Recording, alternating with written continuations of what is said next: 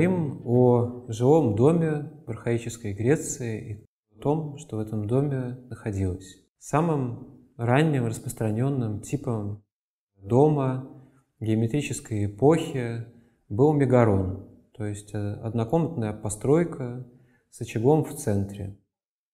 Этот тип впоследствии сохранился в греческих храмах.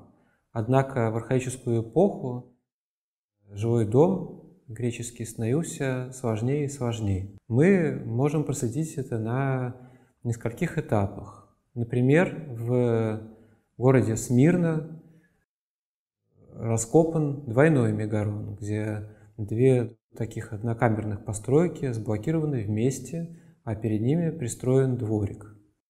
В VII и в особенности в VI веках до нашей эры древнегреческий дом представляет собой уже многокомнатную постройку, где различные помещения, помещения различного назначения группируются вокруг внутреннего двора.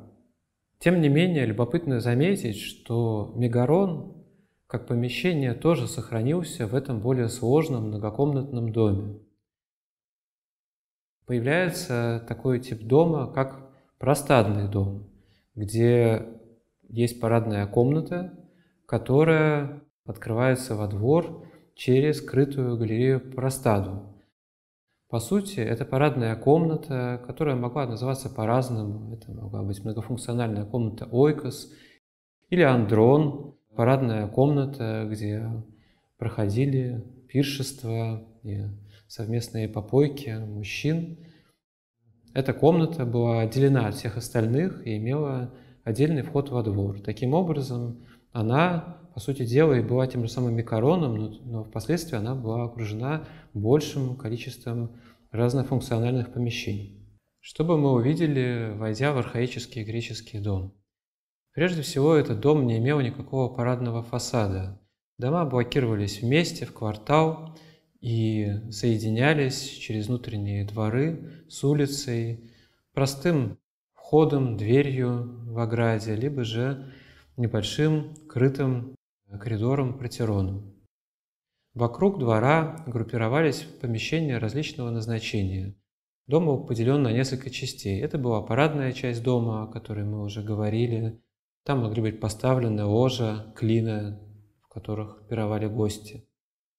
Была отдельная женская часть, гинекей, поскольку женщины в древнегреческом обществе не обладали полноценными правами наравне с мужчинами, не могли участвовать в застольях. Могли быть различные хозяйственные и ремесленные помещения, лавки. Если это был сельский дом, могли быть загоны для мелкого домашнего скота. Внутренние помещения архаического дома также были оформлены очень скромно. От этого времени мы не знаем домов с парадной штукатуркой, раскрашенной с какими-либо росписями, как это характерно, например, для больших богатых домов более позднего эллинистического периода. Мебели, видимо, было довольно мало. Ее почти никогда не находят в ходе раскопок, поскольку предметы из дерева не сохраняются. Поэтому об интерьере архаического дома, дома классической эпохи мы можем судить в основном по лазописи. Помимо лож в доме могли находиться какие-то сундуки, а посуда часто висела на крючках по стенам. Вместе с тем в быту древних греков в архаическую эпоху окружало множество вещей, совершенству формы, изяществу которых мы не устаем удивляться и в наше время. Первую очередь это, конечно, керамика, потому что керамика лучше всего сохраняется и может быть найдена в ходе археологических раскопок. В быту древних греков окружало большое количество сосудов и различных приспособлений, связанных с обработкой продуктов и приготовлением пищи. На этой реконструкции мы видим кухню архаического дома э, древнего Борисфена.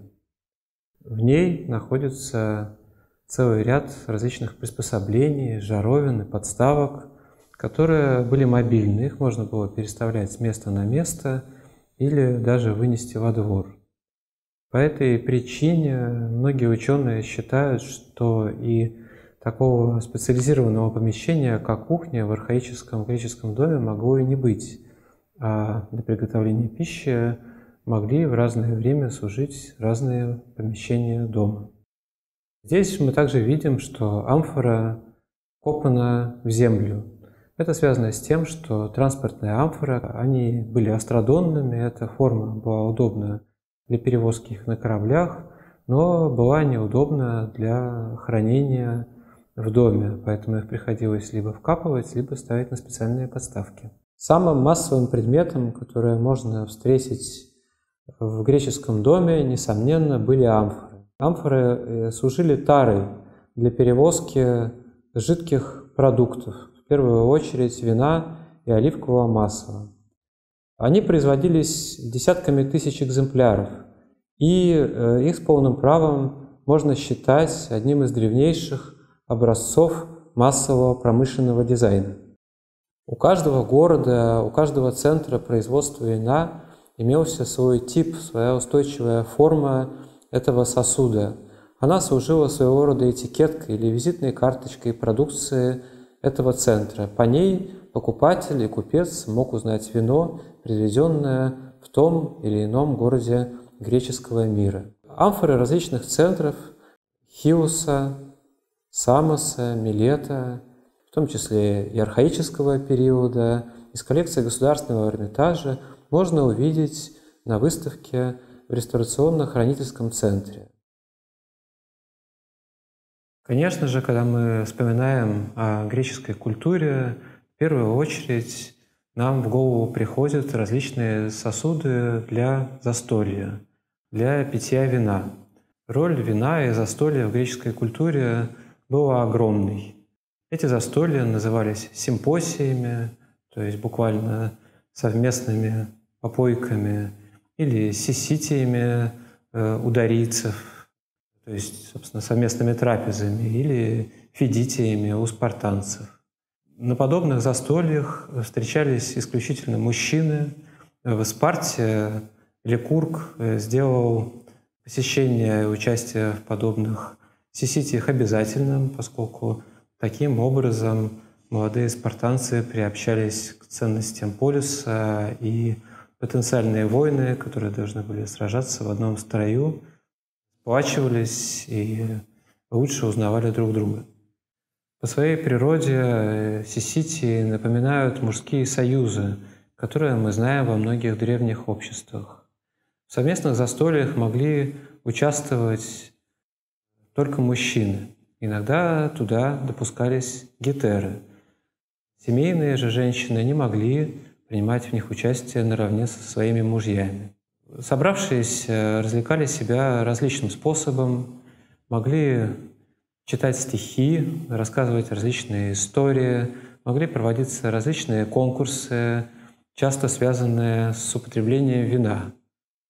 Например, э, известная игра «Катап», которая заключалась в прицеленном метании капель вина в цель. С употреблением вина связаны двуручные чаши, килики, которые могли иметь различную форму, большие сосуды кратеры, служившие для смешивания вина с водой – и высокие сосуды псикторы, которые вставлялись в кратеры и служили для охлаждения вина. Все эти сосуды, они могли быть парадными очень дорогими, расписанными в чернофигурной или в краснофигурной технике, но могли быть и простыми. В быту, конечно же, использовалась простая нерасписная посуда, наставленная в цвете глины, красного или сероватого оттенка. Пищу употребляли из мисок и плошек различной формы. Освещался архаический греческий дом светильниками. Светильник представлял собой керамическую плошку, в которую наливалось масло или помещался жир, а в носик вставлялся фитиль. В быту, в гигиенических целях часто использовались э, благовония и масло, ароматическое и просто оливковое масло, которое помещалось в флаконы с узким горлышком различной формы – рибалы и алабастры. Эти флаконы могли быть изготовлены из разных материалов. Они могли быть глиняными, расписными, могли быть стеклянными. Технику изготовления таких красочных стеклянных сосудов греки заимствовали у финикийцев. Узор и расцветка была обусловлена использованием стеклянной пасты различного цвета.